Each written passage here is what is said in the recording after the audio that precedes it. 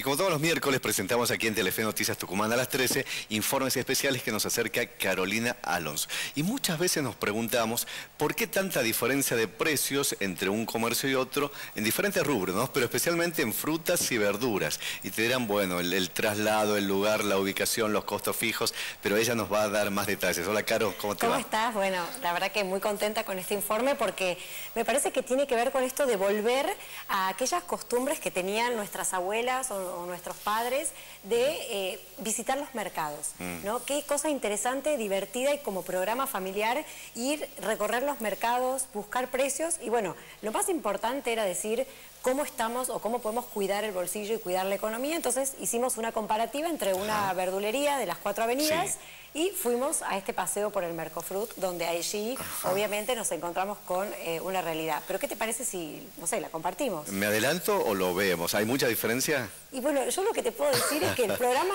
suma. Así que después vamos, a ver en precios. Dale, ¿sí? volvemos. una experiencia. Aquí está.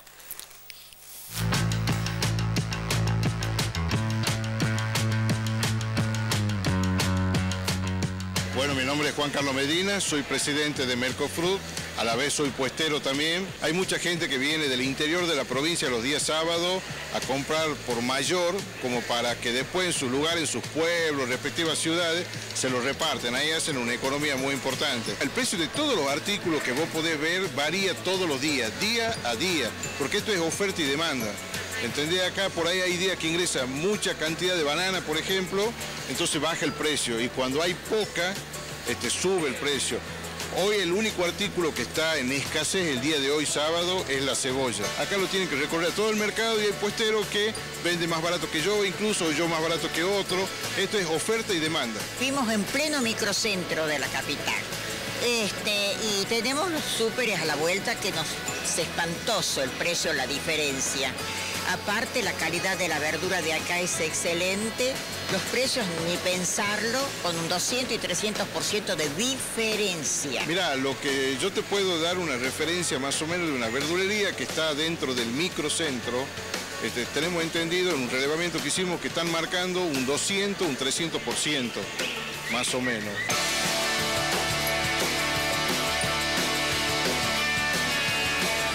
Bueno, Mauro, hoy, haremos sopa de verduras.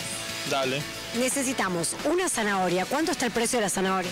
Y el kilo está a 40 pesos. Cinco choclos. ¿Cuánto está el choclo? El choclo está a 25 pesos cada uno. ¿El puerro?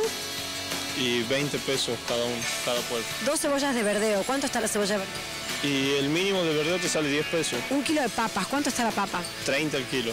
¿Zapallitos? 30 eh, el kilo.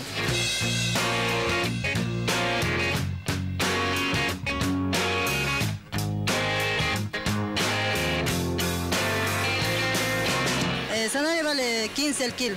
Cebollita verdeo está 30. Y tiene el zapallo que por menor al verdurero se le vende a 7 pesos. Y al mayorito se le reparte a 5 o 6 pesos. Acá dentro del mercado, sí. Apio vale 20 cada uno. La plantita, sí. Tiene 115, 115, 110 y 120 la bandeja. ¿Cuál es la diferencia? Tamaño. Cebolla ha aumentado mucho vendiendo 30 el kilo. Después tiene brasilero, coreano, que está el cabute está a 12 y el coreano está a 10. Es muy distinto una verdulería que está dentro de las cuatro avenidas o que está en un barrio. ¿Entendés? Que por ahí la gente pone la verdulería en su casa, trabajan ellos mismos, le genera un costo menor, entonces están marcando de un 50 a un 150% este, su porcentaje para poder trabajar, ¿no? ¿Y en frutas qué tenemos en precio? ¿Bananas, manzanas? Eh, la banana y la manzana está a 80 el kilo, la pera está a 60, está barata, la docena de naranja está a 100 pesos, al igual que la mandarina. Y los pomelos te salen 15 cada uno. Manzana verde, la veo ahí, re linda. Sí, 80 el kilo.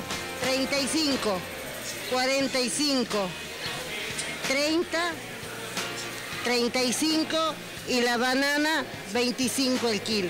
En vez de ir a tomar un café ahora a la galería, hemos sacado eso y venimos al, shopping de la fruta y de las verduras. Y la ama de casa es una economía importante. Aquí hay compañeros de oficina que vienen, compran por mayor, se llevan una bolsa, un cajón de cada cosa y luego se lo reparten en su casa y vos te pones a analizar el costo y la verdad que un beneficio importante, ¿no? Que vengan, porque ni que no vengan para decir que van a comprar para toda la familia, que vengan, porque una familia se ahorra horrores. Nosotros en casa somos dos nada más y nos estamos ahorrando por semana más o menos mil, mil doscientos pesos.